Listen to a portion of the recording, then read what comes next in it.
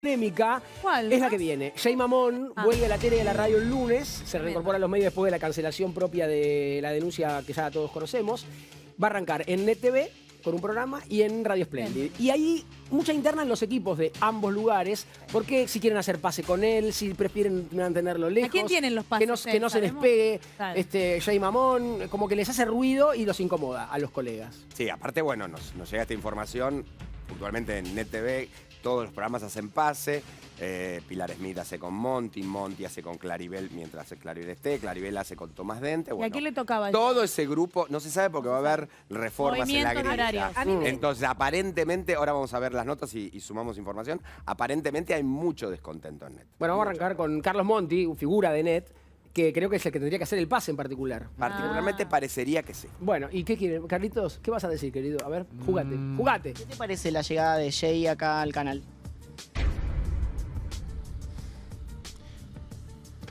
Que venga, Sin al, palabras. que venga al canal, no, que venga al canal, qué sé yo, no sé. Listo, que venga al canal. Está todo bien, no sé. No, más no te voy a decir. No porque- pero, no, pero tu cara me dice que mucho no te gusta. No, no es que me gusta a mí. A ver, a mí al canal le importa poco lo que yo opino, ¿viste? Entonces es una opinión que me voy a reservar para el living de mi casa y ya está. ¿Viste? Es una decisión del canal, hay que respetarla. Es un compañero más a partir del momento que desembarque y no mucho más. ¿Estarías dispuesto a hacer un pase con él? Es que no va a estar después de mí. Nosotros terminamos a las 4. Y después de mí va a haber, eh, no sé, creo que va a estar Tommy, me parece. Me parece, no sé, eh, estoy hablando, pues no, desconozco. Pero seguro él no, porque además él está haciendo radio a la misma hora. Así que no, no va a haber paz. Invitarlo al piso. Si, me- si me lo piden. Bueno, pero vos podés, como, como conductor del programa, decidir si querés o no querés. A ver, yo te voy a contar lo que le dije al gerente de programación. Durante el verano, eh, y se lo dije también a Gustavo Sofovich, durante el verano varias veces pedimos hacer notas con él.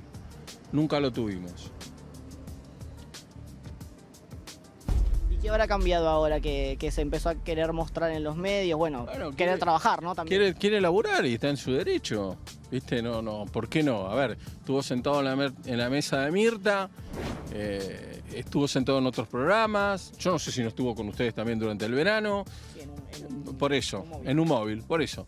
Así que bueno, está en todo su derecho, ¿viste? Él insiste en su inocencia y bueno, es un asunto de él y su conciencia. Eh, ¿Crees en su inocencia o, o qui- quizás qué es lo que te, te provoca como un, no sé si rechazo, pero como un poco de negación a que... yo creo lo que dijo eh, la justicia, punto. El resto me lo reservo para el living de mi casa. ¿Qué te pareció su cruce con San Pedro y, y- y cómo respondió ella? Bueno, pero es que Valeria le dijo las cosas que, que- que son reales, que es lo que dice el expediente y que es lo que cualquiera de nosotros tiene que sostener. Y punto. Está clarito. Prescribió, prescribió. Punto. De ahí en, adela- en adelante, todas las elucubraciones que haya que hacer, corre por cuenta y cargo de cada uno. Acá hay que acatar lo que dice el fallo de la justicia. Punto. Se terminó. Por último, ¿lo vas a ver? ¿El programa? Sí, como veo todos los programas. Sí, ¿cómo? ¿Por qué no lo voy a ver? Sí, lo voy a ver y voy a opinar. Opinar, digo, en la mesa de café que armamos todos, pero nada más que eso. Sí, sí, sí, sí. Sí, ¿por qué no lo voy a ver? Sí, claro. Bueno, eh, Monti habla mucho con el rostro, ¿no? Los silencios, eh, no quiere saber nada. Mira, yo te digo, yo te total digo la está. información que tengo. ¿Qué sabés, a, mí, Nanecita? a mí primero me dijeron que ninguno de los Ninguno. conductores, Esa es ninguno la verdad. estaba contento con la llegada de Jay y me dicen que además a Jay le estaría conta- costando esto de los auspiciantes y los productores. Sí. Ahora,